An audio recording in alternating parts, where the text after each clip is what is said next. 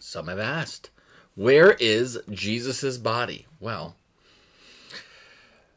well, let's just answer it. Let's let's get into it. If you believe that Jesus was just a man, he wasn't the Messiah, you think he's just a guy, then well, maybe you think his body's somewhere in Israel or somewhere outside of Jerusalem. Maybe maybe tucked away somewhere. Maybe it was stolen by his disciples, like it says in the book of Matthew, other accusations. Or maybe you believe in Docetism, which is an ancient heresy that says Jesus actually didn't have a body. It was like a phantom body, and he wouldn't really come bodily, and so therefore he didn't really raise bodily. Well, that's an old heresy. If you are a person that believes in Jesus, that you believe he's the Messiah, you would consider yourself Orthodox Christian that you believe in the Bible. You believe that Jesus is the Messiah. You believe that he died on the cross. Then you would believe that he raised from the dead. So where is Jesus' body? Well, he's in it. Okay, guys, he's he's still there. He's in it.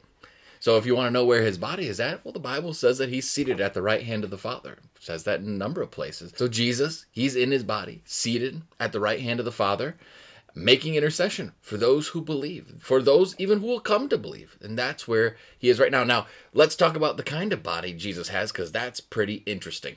Now, Jesus, he he is the second Adam, it says in the book of Romans. So what you can say is that what Jesus Jesus's body is in its resurrected form is what God's intention was for mankind, fully walked out. That's why when we are raised, we will be like him, that our bodies will be just like his. Now think about this.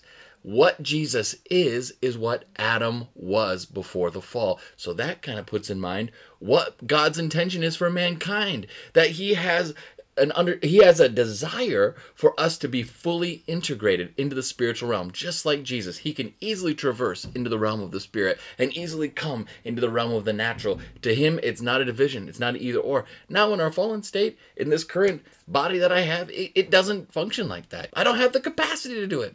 But we have the down payment of the holy spirit which gives us access to the heavenly realms and so, if you're a believer in Jesus and you have that down payment of the Holy Spirit dwelling within you, then you have the ability to have full communion with Jesus.